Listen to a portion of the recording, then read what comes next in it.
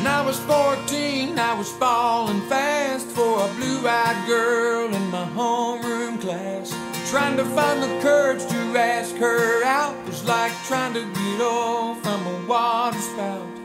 What she would have said, I can't say. I never did ask, then she moved away. But I learned something from my blue-eyed girl. Sink or swim, you gotta give it a whirl.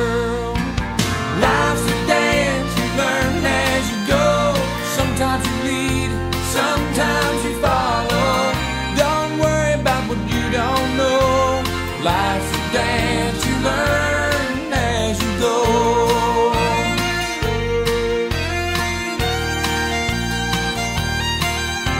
The longer I live, the more I believe you do have to give if you want to receive.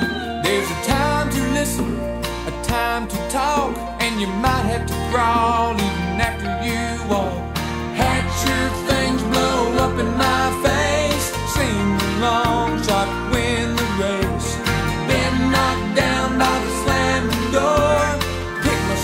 Up and came back for more.